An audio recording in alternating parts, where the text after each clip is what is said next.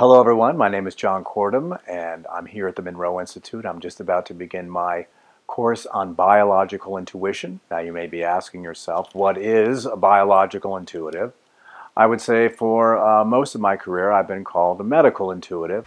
We're back with medical intuitive John Kortum, who's about to reveal an amazing technique. Thank you, Dr. Manning. Medic, I never met a medical intuitive before. Well, it's a pleasure. What people often hear that it implies or even expresses is that I would be offering medical advice or alternative or substitute medical advice, which is not exactly what I do. Now, I, I was tested in a clinical environment and evaluated.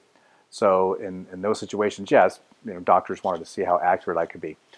But what I found over time was that like a biologist uh, has an understanding of living organisms and what provides an optimal environment for life, and living organisms and it has an understanding about how the systems of that organism operate to sustain life. Biologist isn't really diagnosing illness or looking to diagnose an illness like a medical doctor is. And I'm not looking to diagnose an illness when I necessarily work with you. I'm not a doctor, and that's why I don't diagnose. I am looking to provide you with information that will support an optimal living environment for the rest of your life. So, welcome to Biological Intuition.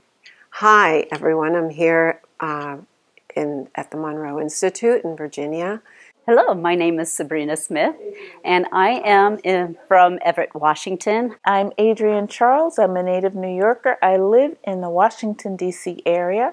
My name is Shazia. I am from New Jersey. My name is Rashi Sharma, and I'm from India, Bangalore. I am in the healthcare field, traditional healthcare field, for over 40 years. I work as a uh, massage therapist. I'm a physician. I'm a hypnotherapist, past life regression therapist, LBL therapist, and uh, a shamanic healer. And I'm real eager to see uh, what the weekend presents.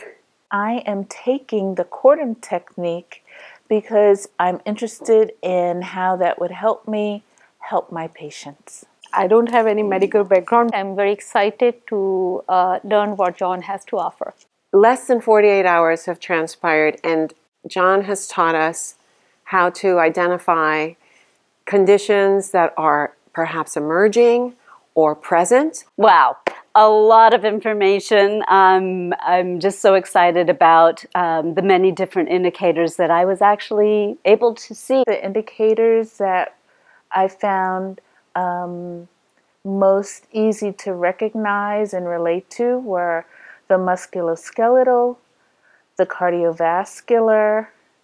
The indicators are right in front of us. And now, when I think of my family members, I'm all the pieces of the puzzles are fitting together for me. And I never thought, because I never had a medical background, I would be able to see so many indicators.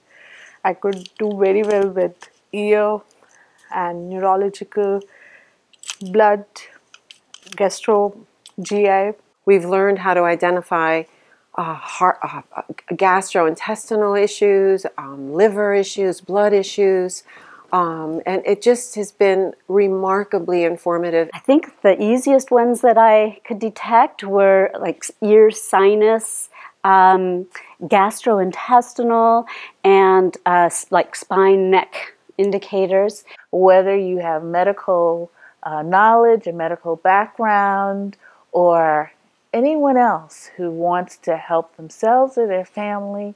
So, what came easiest to me was to see the liver indicator, the cardiovascular, and I think even the uh, reproductive, urinary reproductive indicator as well. We can understand and get to know the indicators early. We can see it early in anybody's life so that they don't go suffer later on in their life. So, this was an amazing course.